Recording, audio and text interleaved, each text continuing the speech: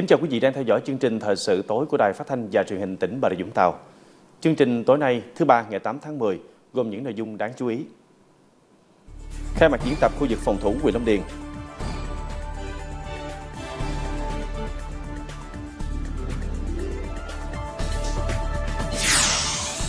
Thành phố Vũng Tàu nỗ lực thu dọn hàng trăm tấn rác thải tràn vào bờ do thủy triều.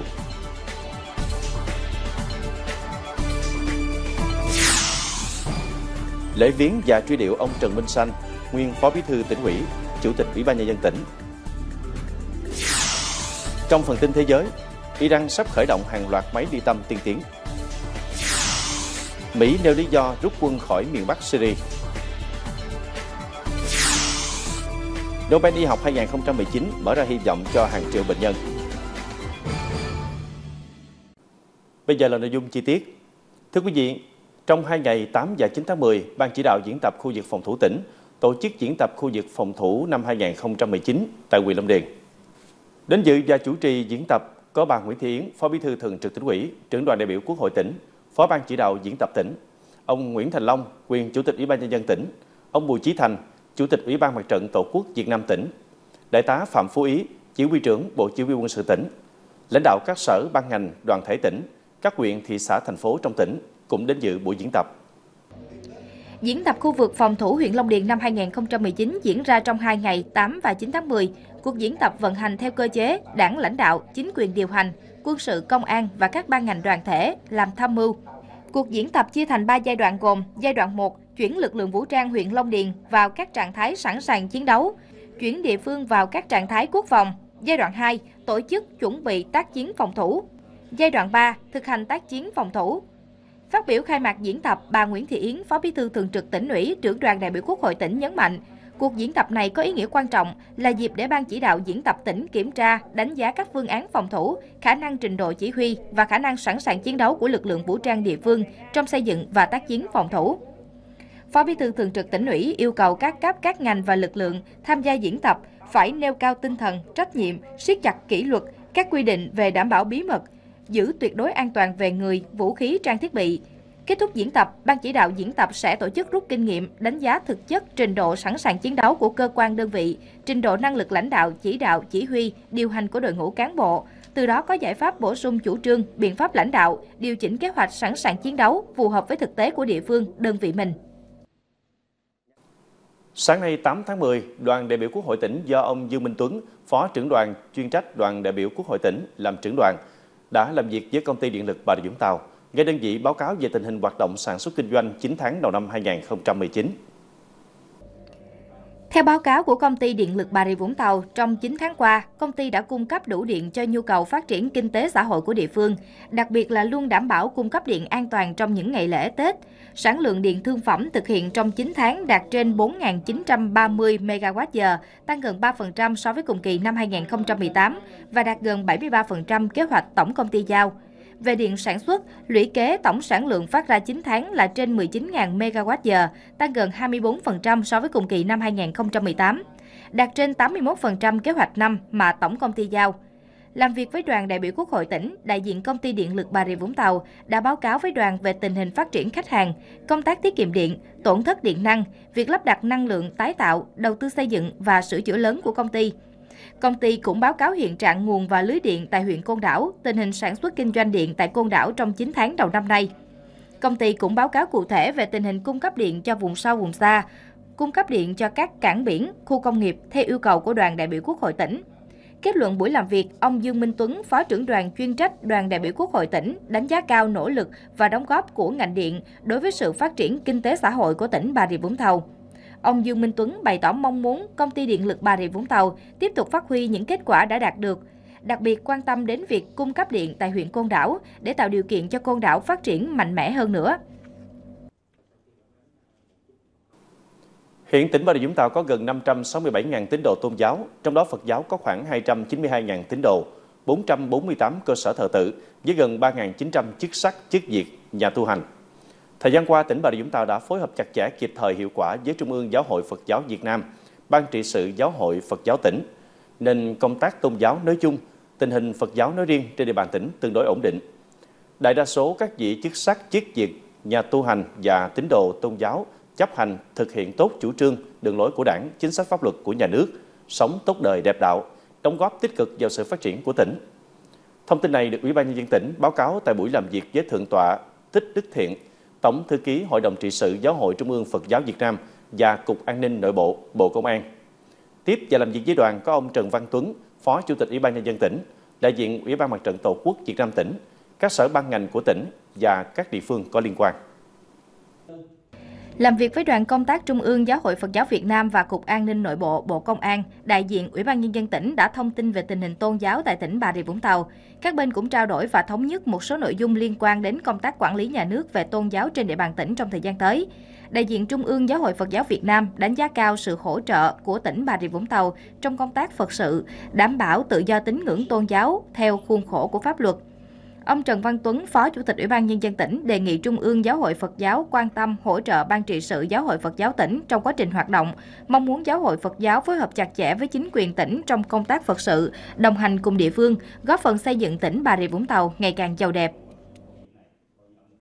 Thưa quý vị, như chúng tôi đã đưa tin, từ ngày 6 tháng 10 đến nay, một lượng rác khổng lồ ước tính hàng chục tấn từ đại dương đã theo thủy triều trôi dạt vào khu vực bãi tắm thành phố Vũng Tàu, gây mất mỹ quan và ô nhiễm môi trường nghiêm trọng. Sau đợt rác tấp vào bờ chiều qua 7 tháng 10 đã được thu gom. Sáng nay 8 tháng 10, một khối lượng rác lớn hơn, ước tính khoảng hơn 200 tấn, tiếp tục theo thủy triều dạt vào tuyến biển Bãi Sao, đoạn từ Mũi Nghinh Phong đến khu du lịch Long Cung.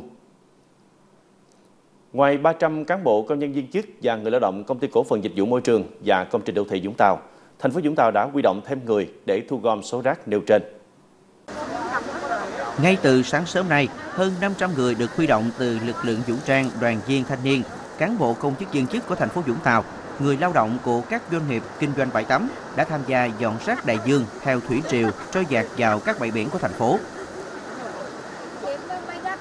Sáng hôm nay là huy động gấp ờ, với số lượng khoảng gần 50 đoàn viên thanh niên ờ, để hỗ trợ cùng ờ, với các đơn vị để dọn dẹp vệ sinh của khu vực bãi sau. Ờ, tiếp tục thì chiều nay ờ, thành đoàn sẽ triển khai và huy động lực lượng của các trường trung học phổ thông, ờ, các đồng chí giáo viên tổng trách và khối đoàn, khối cơ quan đơn vị để cùng với các lực lượng của thành phố để dọn dẹp làm đẹp cho bãi biển của thành phố chúng ta. Cùng với cán bộ công chức viên chức, đoàn viên thanh niên của thành phố thì nhiều người dân và du khách đang có mặt tại thành phố Vũng Tàu cũng tham gia thu gom dọn dẹp rác thải đại dương. Dạ trước đây thì ờ, nhóm của tụi em ờ, nhóm thì ờ, hay có tham gia các hoạt động từ thiện thôi. Còn lần này thì nghe thông tin là bãi biển của chúng ta bị rác tràn vào rất là nhiều. Cho nên là các cơ quan chức năng có lời kêu gọi cho nên là, là là các thành viên của nhóm cũng cố gắng là ra đây để hỗ trợ cho các anh chị ở đây. Rác thải đại dương trôi dạt vào các bãi biển Vũng Tàu là hiện tượng tự nhiên diễn ra vào trung tuần tháng 10 hàng năm khi thời tiết chuyển gió đông khi đó triệu cường kéo theo cây gỗ, lục bình, dừa nước từ vùng cửa sông Cần Giờ, Đồng Nai, miền Tây tấp vào các bãi tắm trên địa bàn thành phố Vũng Tàu. Năm nay từ ngày 6 tháng 10 đã có hiện tượng rác tràn vào bờ biển Vũng Tàu nhưng không nhiều. Tuy nhiên đến ngày 7 thì lượng rác tràn vào tăng đột biến ước khoảng gần 100 tấn. Và ngày hôm nay 8 tháng 10 khối lượng rác tăng lên gấp đôi khoảng gần 200 tấn, chủ yếu là quả nước, củi mục, thân dừa nước, tay lưới, chai lọ, phao, xốp, tạo thành một dãy rác dày đặc dọc theo bãi sau Vũng Tàu. Cái ờ, việc này thì năm nào cũng ờ, xảy ra, năm nào cũng vào cái mùa này là rác nó vào nhưng mà năm nay nó nhiều hơn. Năm ngoái là chúng tôi phải ờ, thu dọn 6, 6 đợt. Đấy. Năm nay thì mới vào hai ba đợt thôi nhưng mà đợt này nó nhiều nhất. Thì bắt đầu từ ngày mùng 6 là có hiện tượng là rác đã vào. Và mùng 7, mùng 8 thì lượng rác đã vào rất là nhiều và đơn vị chúng tôi đã huy động ờ, các cái phương tiện rồi là xe máy rồi con người rồi càng trang thiết bị cho các cái đơn vị mà phối hợp với chúng tôi sẽ làm nhanh nhất để trả lại cái môi trường đẹp nhất cho cái du khách và nhân dân Vũng Tàu. Tính đến 16 giờ chiều nay, số lượng rác thải đại dương trôi dạt vào bãi biển Vũng Tàu đã được thu gom khoảng 90%. Trước tình hình rác thải tiếp tục tràn vào khu vực bãi sau, lãnh đạo thành phố Vũng Tàu chỉ đạo các lực lượng chức năng tiếp tục huy động lực lượng thu gom rác thải, đồng thời làm sạch bãi tắm trong ngày các tổ chức đoàn thể trên địa bàn tỉnh cũng phát động phong trào tình nguyện dọn dẹp rác thải bãi biển tại Vũng Tàu. Hoạt động này sẽ diễn ra vào sáng mai 9 tháng 10 với sự tham gia của hàng trăm đoàn viên thanh niên nhằm trả lại bãi tắm sạch đẹp cho nhân dân.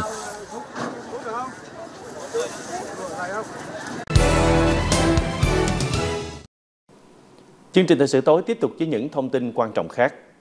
Thưa quý vị, vào lúc 12 giờ 30 phút trưa nay ngày 8 tháng 10, lễ viếng và truy điệu ông Trần Minh Sanh, nguyên Phó Bí thư tỉnh ủy, Chủ tịch Ủy ban nhân dân tỉnh Bà Rịa Vũng Tàu, được tổ chức trang trọng tại nhà riêng ở ấp Tân Hiệp, xã Long Tân, huyện Đất Đỏ. Dự lễ viếng và truy điệu có bà Nguyễn Thị Yến, Phó Bí thư Thường trực tỉnh ủy, trưởng đoàn đại biểu Quốc hội tỉnh. Ông Nguyễn Thành Long, quyền Chủ tịch Ủy ban nhân dân tỉnh, ông Mai Ngọc Thuận, Phó Chủ tịch Hội đồng nhân dân tỉnh, ông Lưu Tài Đoàn, trưởng ban tổ chức tỉnh ủy, nguyên lãnh đạo tỉnh qua các thời kỳ, cán bộ lão thành và nhiều cán bộ nhân dân trên địa bàn tỉnh. Ông Trần Minh Sanh sinh ngày 5 tháng 6 năm 1956 tại xã Long Tân, huyện Đất Đỏ, tỉnh Bà Rịa Vũng Tàu. Trong suốt quá trình công tác, ông Trần Minh Sanh đã nỗ lực xây dựng, tham mưu cho tỉnh nhiều hoạch định phát triển nông nghiệp nông thôn hiệu quả, như chính sách cải tạo vườn tạp, chuyển đổi cơ cấu, cây trồng vật nuôi, đưa cơ giới hóa vào sản xuất nông nghiệp.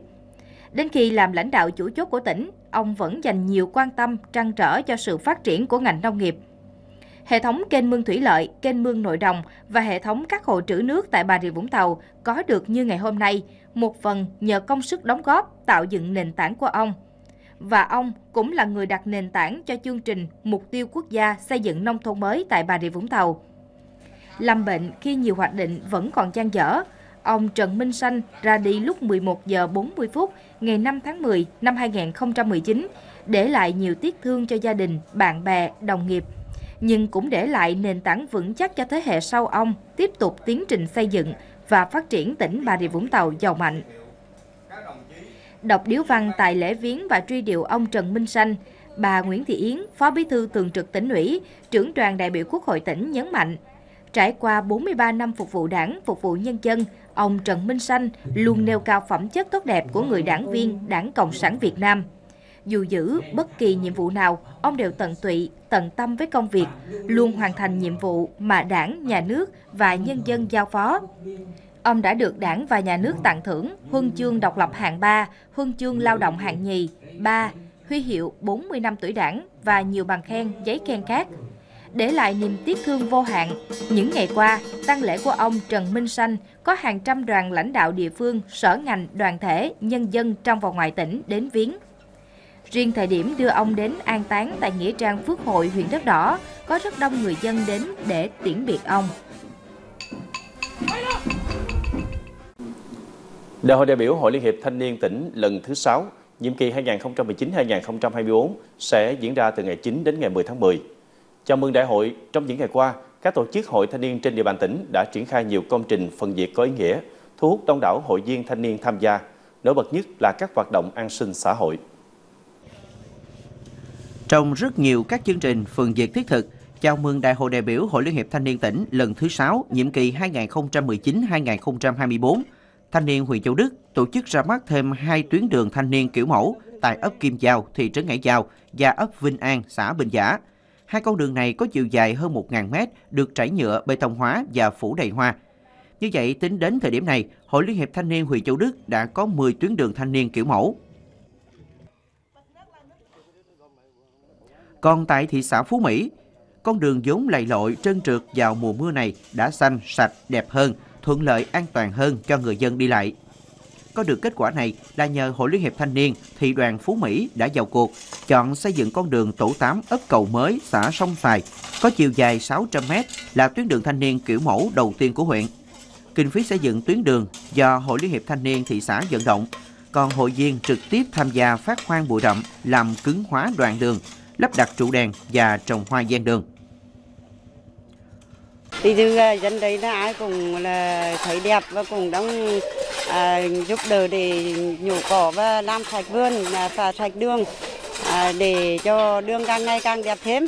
Đoàn thanh niên làm tích cực quá. Thì trước thềm đại hội Liên hiệp Thanh niên tỉnh tôi rất vui mừng rất vui mừng đã đóng góp được những cái công việc, hoạt động thiết thực ở địa phương để góp phần nâng cao cái vai trò của tổ chức hội à, để gửi đến những cái thành công tốt đẹp đến đại hội hội nghiệp thanh niên tỉnh lần thứ sáu. Một trong những điểm nhấn nổi bật chào mừng Đại hội Hội Liên hiệp Thanh niên tỉnh lần này là hành trình kết nối công nghệ, tri thức được Hội Liên hiệp Thanh niên tỉnh tổ chức từ tháng 7 đến nay. Chương trình tập hợp nguồn lực của các cơ sở đoàn hội mạnh thường quân trao tặng 13 bộ máy vi tính trị giá hơn 90 triệu đồng cho thanh thiếu nhi có hoàn cảnh khó khăn, giúp các em có điều kiện học tập tốt hơn. Con cũng có mơ ước là có máy tính để à, học hỏi, để à, tìm à, những tài liệu liên quan tới học tập. Nhưng mà tại vì do điều kiện cũng hơi khó khăn nên con cũng không đòi hỏi bà mẹ phải mua. Con rất là vui khi được các cô chú trao tặng cho máy tính để dùng để học tập. À, con sẽ cố gắng sử dụng nó thật tốt để trong học tập. Phối hợp với Hội Thầy thuốc trẻ tỉnh, Hội Liên hiệp Thanh niên tỉnh cũng tổ chức chương trình khám phát thuốc miễn phí tại xã Bào Lâm, huyện Xuyên Mộc với tinh thần tình nguyện vì sức khỏe cộng đồng. Các y bác sĩ đã tích cực tham gia hưởng ứng chương trình. Sự có mặt của những bác sĩ ở những địa bàn xa xôi nhất, khó khăn nhất đã giúp 250 người dân nơi đây có cơ hội được kiểm tra sức khỏe, phát hiện và điều trị bệnh kịp thời. Cứ mua thuốc ở đây uống thì thôi. Biết, biết sao chỗ này cũng dùng sâu, dùng xa nữa. Rồi bác sĩ lên đây khám cho dân thì cũng mang ơn bác sĩ. Trong những chuyến đi như vậy nè, thì à, khi mà tới gặp được các bác, các cô thì à, mình mới biết được là thực sự là cái đời sống kinh tế của người dân mình vẫn còn khó khăn. Em cũng à, rất mong muốn là à, các bệnh viện hay là các ban ngành đoàn thể hay là các nhà tài trợ có thể hỗ trợ cho các bệnh viện à, thực hiện nhiều chuyến đi hơn nữa để tới các những vùng sâu, vùng xa để giúp các bà con.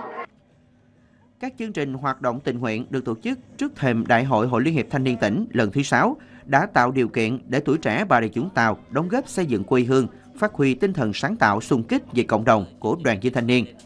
Và trong nhiệm kỳ tới, với khẩu hiệu hành động yêu nước, tình nguyện, sáng tạo, khởi nghiệp, xây dựng quê hương Bà Rịa Vũng Tàu giàu mạnh và văn minh, các chương trình hoạt động xung kích tình nguyện ý nghĩa sẽ tiếp tục được nhân rộng, phát triển ở các xã phường, thị trấn trong toàn tỉnh.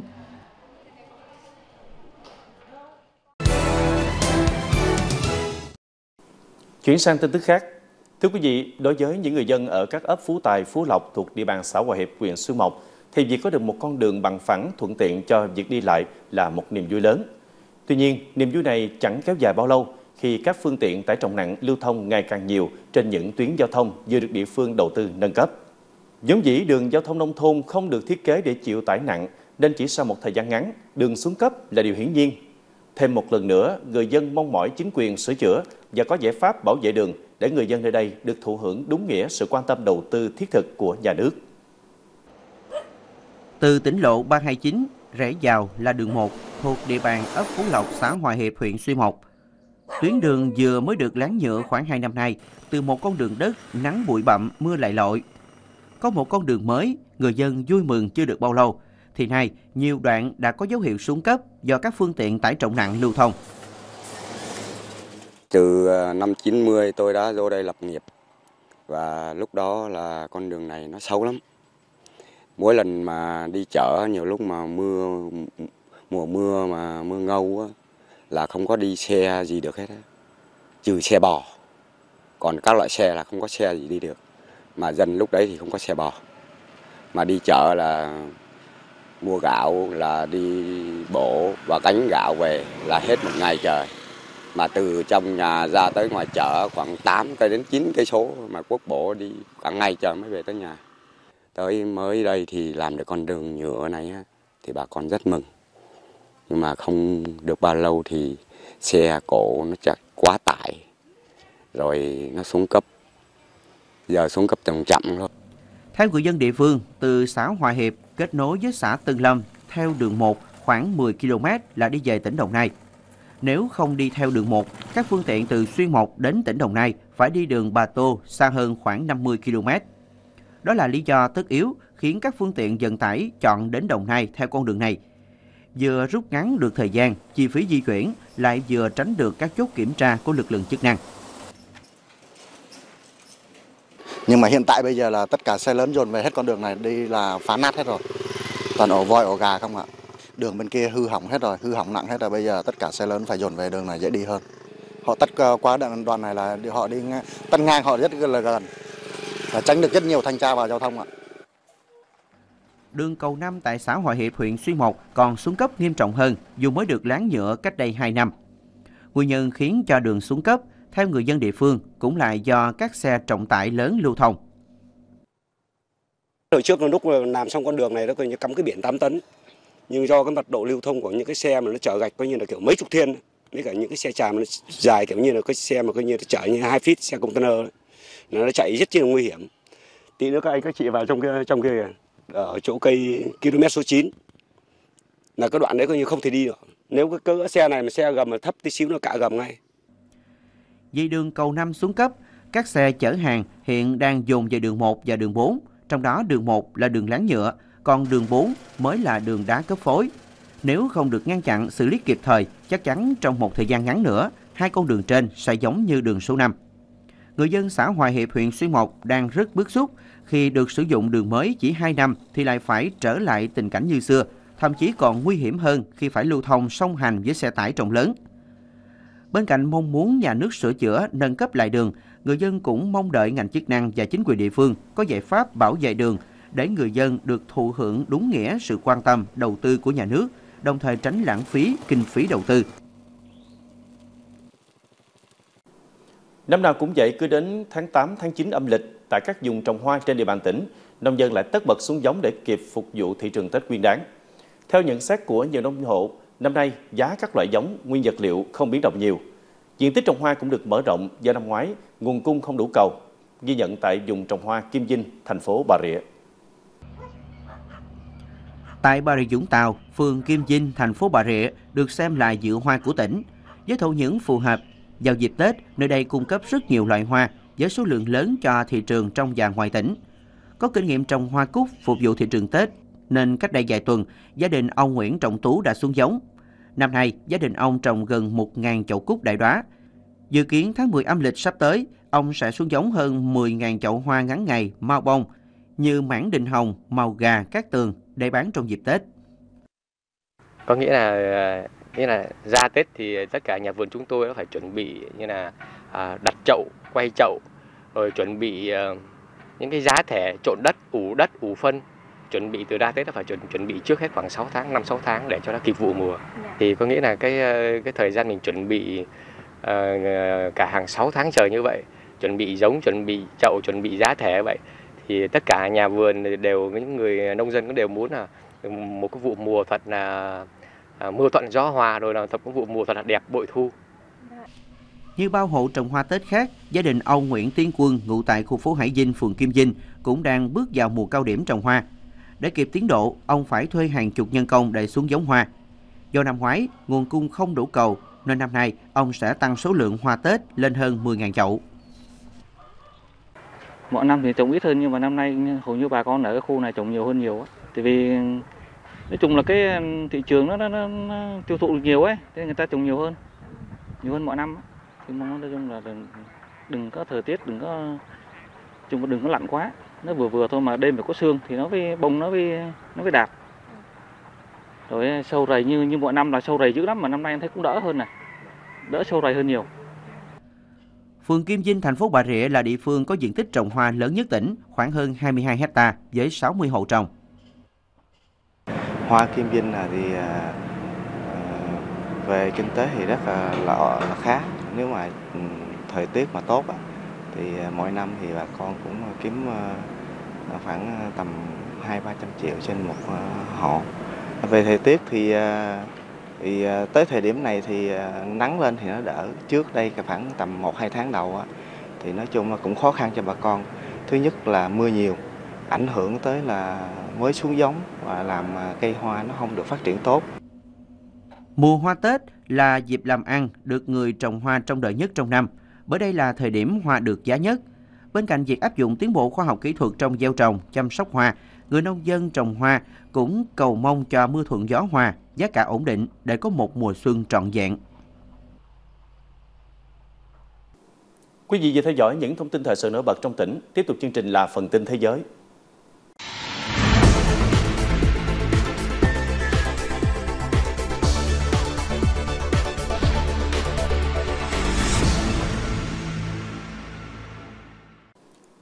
Sau khi Triều Tiên bác bỏ khả năng đối thoại với Mỹ trong tương lai gần vì cuộc đàm phán cấp chuyên viên vào cuối tuần qua không đạt kết quả, Hàn Quốc tuyên bố sẽ cùng với Mỹ tìm kiếm các biện pháp duy trì đối thoại với Bình Nhưỡng.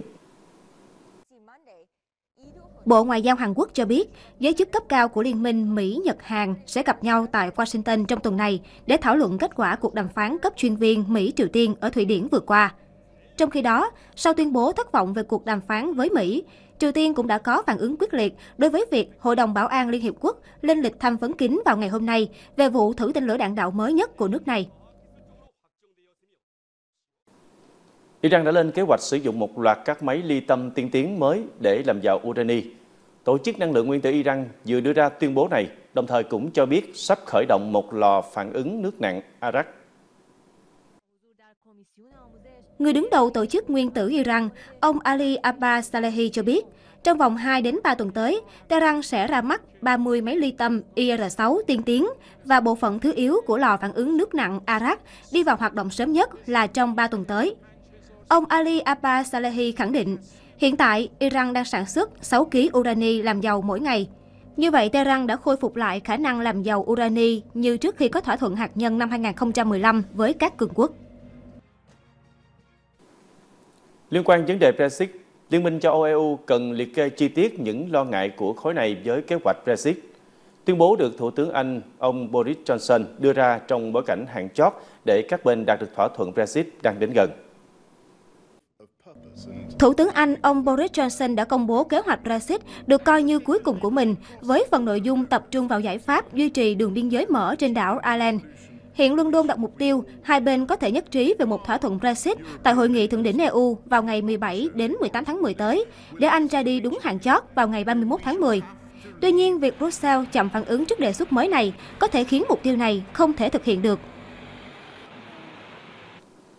Những diễn biến mới nhất liên quan cuộc chiến Syria sẽ liên tục bản tin. Việc duy trì sự ủng hộ đối với các lực lượng người quốc, đồng minh của Mỹ tại miền Bắc Syria là quá tốn kém. Tổng thống Mỹ ông Donald Trump vừa đưa ra tuyên bố trên để bảo vệ quyết định của Washington rút quân khỏi miền Bắc Syria. Tổng thống Mỹ tuyên bố Thổ Nhĩ Kỳ, châu Âu, Syria, Iran, Iraq, Nga và người quốc sẽ phải dự liệu tình hình và tìm ra cách thức giải quyết những tay súng IS bị bắt tại Syria. Tổng thống Donald Trump khẳng định cái gọi là vương quốc Hồi giáo IS đã bị đánh bại, song cảnh báo rằng Mỹ sẽ nghiền nát IS nếu chúng tới gần Mỹ.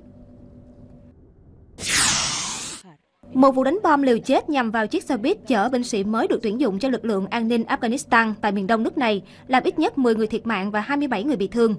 Vụ đánh bom xảy ra trong bối cảnh Tổng thống Mỹ ông Donald Trump ngày 7 tháng 9 tuyên bố hủy các cuộc gặp với các thủ lĩnh Taliban và Tổng thống Afghanistan ông Ashraf Ghani tại trại Davis, cũng như hủy các cuộc đàm phán hòa bình với nhóm phiến quân.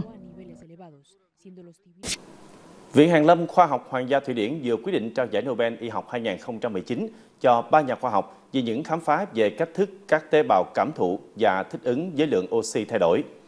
Khám phá này được xem là mở đường cho những liệu pháp hứa hẹn nhằm chống lại bệnh thiếu máu, ung thư và nhiều bệnh khác. Thông tin y học này sẽ khép lại bản tin thế giới tối nay.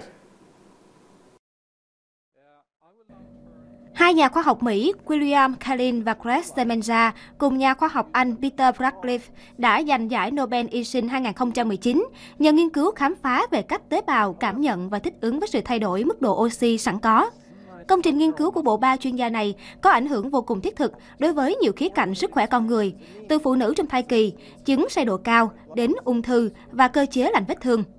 Nghiên cứu này cung cấp chìa khóa then chốt giúp giải thích nguyên nhân tại sao các loài động vật có thể sinh sống ở nhiều độ cao khác nhau.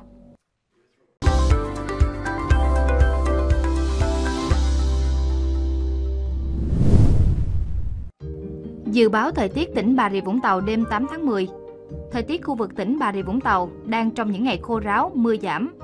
Mưa chỉ rải rác về đêm, tuy nhiên người dân vẫn cần đề phòng các hiện tượng gió giật mạnh và lốc xoáy có thể xảy ra trong cơn giông. Về đêm thời tiết khá mát mẻ, mức nhiệt chỉ dao động trong khoảng từ 24 đến 26 độ. Ngày mai toàn tỉnh duy trì cường độ nắng mạnh, mức nhiệt ban ngày khá cao, từ 31 đến 33 độ, có nơi 34 độ. Theo dự báo của Đài khí tượng thủy văn tỉnh, thời tiết khô ráo và nắng nhiều sẽ duy trì trong nhiều ngày tới, mưa vẫn chưa có dấu hiệu quay trở lại. Khu vực thành phố Vũng Tàu mây thay đổi, đêm nay có mưa rào và dông vài nơi, đề phòng trong cơn dông có gió giật mạnh và lốc xoáy, ngày mai trời nắng gián đoạn, gió đông đến đông bắc cấp 2 cấp 3, nhiệt độ thấp nhất từ 25 đến 27 độ, nhiệt độ cao nhất từ 31 đến 33 độ, độ ẩm tương đối 78 đến 91%. Khu vực huyện Côn Đảo mây thay đổi, đêm nay có mưa rào, đề phòng trong cơn dông có gió giật mạnh và lốc xoáy. Ngày mai trời nắng gián đoạn, gió đông đến đông bắc cấp 2, cấp 3. Nhiệt độ thấp nhất 24 độ, nhiệt độ cao nhất 32 độ, độ ẩm tương đối 86%. Thời tiết vùng biển Vũng Tàu Côn Đảo có mưa rào rải rác và có nơi có dông. Trong cơn dông, đề phòng có lốc xoáy và gió giật mạnh, tầm nhìn xa trên 10 km, giảm xuống 4 đến 10 km trong mưa. Trên biển, gió đông bắc cấp 4, có lúc cấp 5, biển có lúc động nhẹ. Tại Vũng Tàu ngày 9 tháng 10 năm 2019, mực nước cao nhất 365 cm xuất hiện lúc 0 giờ 45 phút, thấp nhất 165 cm xuất hiện lúc 16 giờ 45 phút. Chương trình thời sự của Đài Phát thanh và Truyền hình tỉnh Bà Rịa Vũng Tàu đến đây là hết. Bây giờ mời quý vị theo dõi tiếp chương trình thời sự của Đài Truyền hình Việt Nam.